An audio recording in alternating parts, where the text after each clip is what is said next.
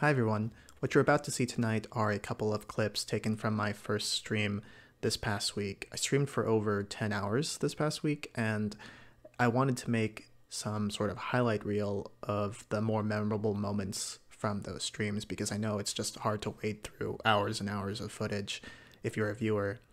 But as I was going through the first stream, I noticed there was a really good opportunity to fact check OpenAI's O1 preview and O1 minis uh, results after the fact because if you watch those streams, you'll notice that sometimes I'm flustered. I don't really see how it comes to certain conclusions and it lays out a bunch of steps. And so I went back and I redid some of those problems that I gave it just to sort of see and remember how to do them and also follow OpenAI's O1 models um, chain of reasoning, right? And just sort of see how it got to certain steps and why it stated certain things. And I actually learned some uh, very interesting things after the fact. Spoiler, I actually got something wrong and it did correct me. So that is that is kind of uh, interesting and surprising. And I wanted to uh, state that it is going to be a bit of a, a, while before I can roll out all of this uh, content just because I am a one man show behind the scenes to do all the editing and uploading and stuff. And so if I'm going down these these loose ends and trying to verify its solutions through those 10 hours of footage, it's gonna it's gonna be a while. So I appreciate your patience with me. I hope this can hold you over as I work through the rest of the clips. I do hope to put some sort of compilation together at some point, but uh, without any further ado, let's go ahead and start with the clips, and then I'll sort of interject myself after uh, those clips are uh, done. Like these two are like two graduate level astrophysics textbooks. Pretty confident solution manual, solution manual, sorry, this book does not exist. I love solving problems I have these solutions that I've written to um, some, not all, not the entirety of the book, but um, decent amount of problems from some of the books right in front of me. And so these are my own, you know, handwritten solutions. I, on my website, actually have posted the first two problems to this book. First problem here. Okay. All right, so this doesn't look like, this doesn't look good. What? Really? 19.55 mags per sec? I don't think that's correct. What if I just give ChatGPT 4o this question? I'm curious, will it get what I get? Or will it get something else? 18.05, okay, now now definitely somebody is, somebody... Somebody gonna get hurt real bad somebody is doing something wrong here. Numbers like magnitudes, like half a magnitude makes a difference in terms of rightness in astronomy. This book does not have its own solution manual, so I've actually reached out to the um, author himself for this book and i asked him about like oh you know can you help me with a problem and he he he, he said he you know he has to dredge up memories but you know i think you can do this so i'm pretty confident that this book doesn't have a solution manual um this is my solution below, and it disagrees with your solution.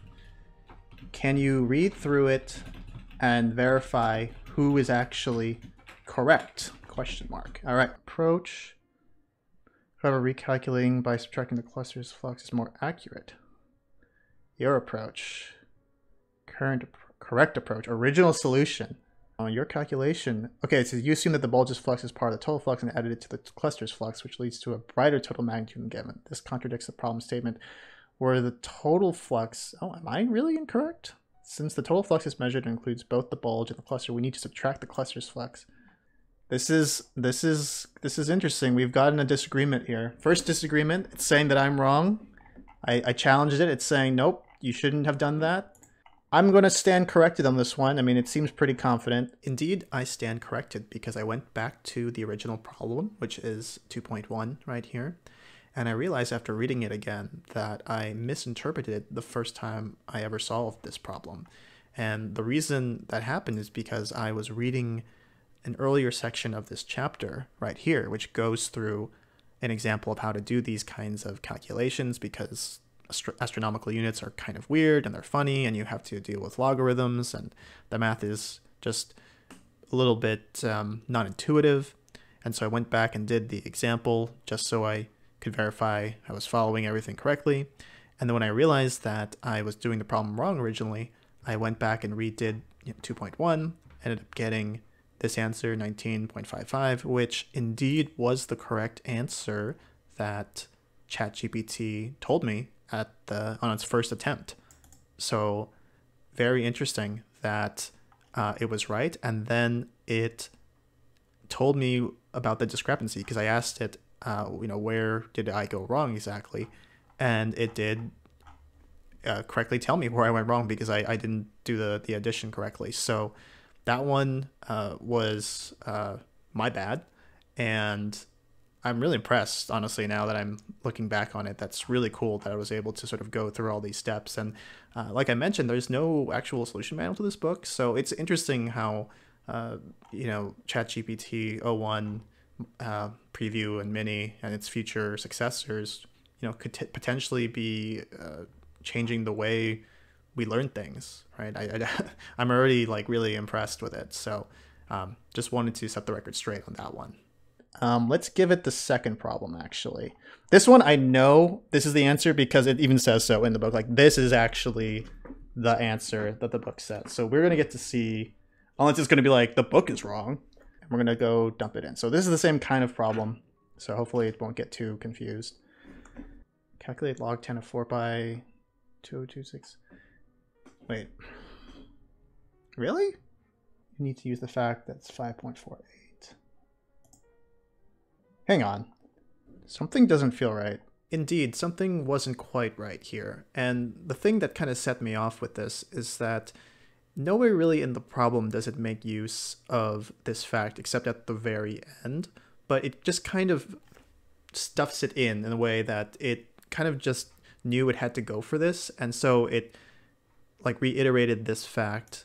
And if I'm going to go down here and show it, it does this thing that's kind of funny to me. It's kind of omitting some steps here because it gets to this point. I'm sorry I'm moving around here, but it gets to this point where the final expression you're trying to get this mu b thing and it doesn't really calculate all this out uh, in the sense that it leaves this sort of unknown variable zp, which stands for zero point, uh, it, it calculates this middle term right here, which ends up being 29.32. I actually did verify that at some point, like right here, that is correct, that it did that calculation correct, which it did.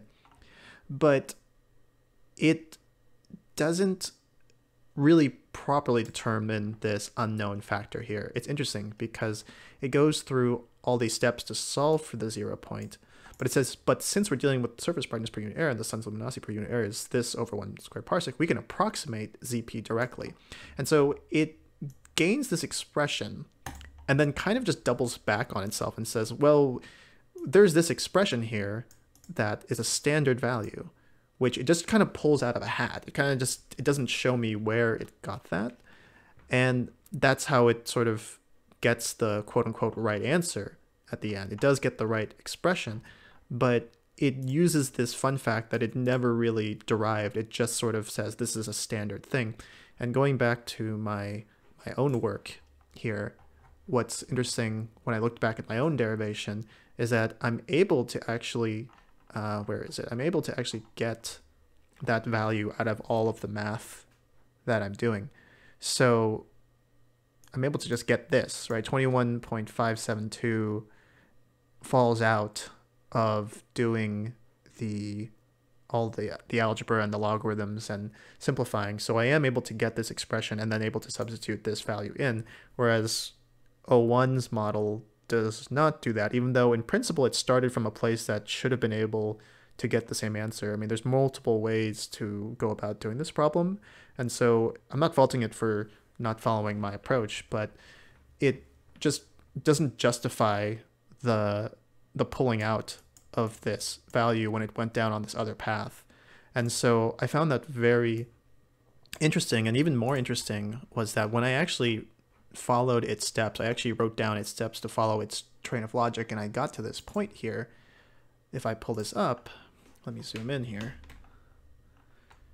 So as you can see here, I get to this point where it just has this unknown zero point, and if you go through the steps, you calculate this thing out here, you have the zero point expression, And sorry, I made a few mistakes here and there. The point being, though, is that if it actually evaluated this, because this is the known value of 5.48, and you do the uh, calculation here with this um, log term and its expression, you do end up getting something that is somewhat close to the final answer, not quite 27.03 versus 27.05.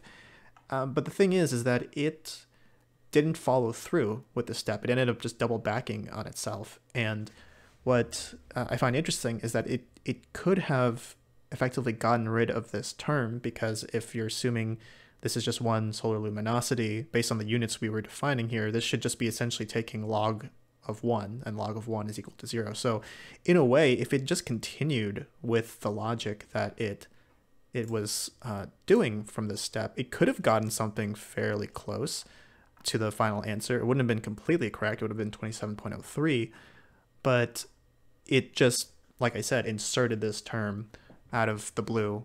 And so I find that very interesting, maybe concerning, in the sense that it's subtle how it is sort of um, BSing its way to the final answer because this really is kind of how I think like if you're a you know competent student but maybe you can't really get the known result you just try and like you know reverse engineer the solution to get the final uh, result to sort of just satisfy the uh, you know the answer because we knew what the answer was supposed to be. So uh, I find that very um, interesting and uh, something that I need to keep in mind moving forward if we give it problems where we explicitly state what the answer is, because it could just pull a sleight of hand like that. And uh, I think that's all I'll say on this question, but uh, very, very, very interesting. So I think that's all I'll have time for tonight. I hope you found this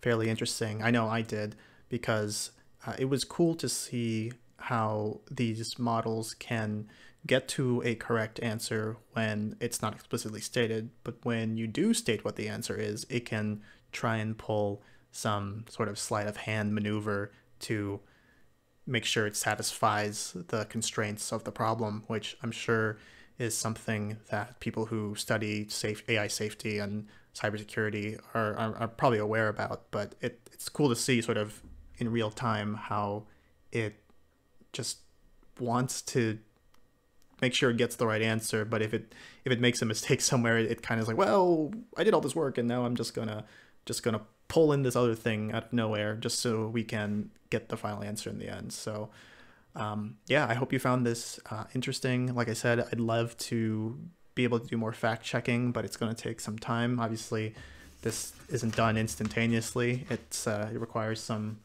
time and thought, and I found it very refreshing to do some astronomy again because it's been a while. So I hope you'll come back and uh, I hope you have a great night and I'll hope to see you in a future video.